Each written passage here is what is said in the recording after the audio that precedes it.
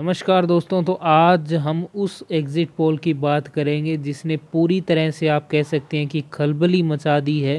राजनीतिक जो वातावरण है उसके अंदर एक तरह से और इस एग्ज़िट पोल के अनुसार 177 सीटें जो है वो बीजेपी को मिलेंगी, कांग्रेस को 141 और अदर पार्टीज़ जो हैं उनको यहाँ पे जो है वो 241 सीटें यहाँ पे जो है वो मिल सकती है।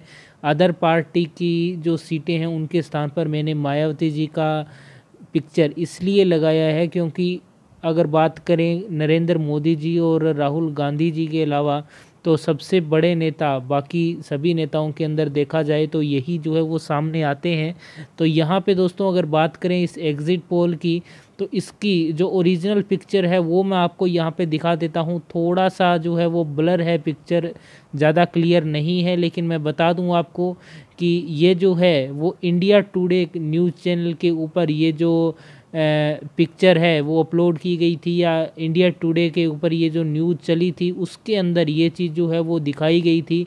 बाद में हालाँकि इंडिया टुडे के द्वारा ये सफ़ाई दी गई कि ये जो डेटा है, वो फेक डेटा है और इसके ऊपर जो है वो विश्वास न किया जाए। अगर आपको ओरिजिनल जो डेटा है वो चाहिए तो 19 मई को यानी आज आपको मिल जाएगा।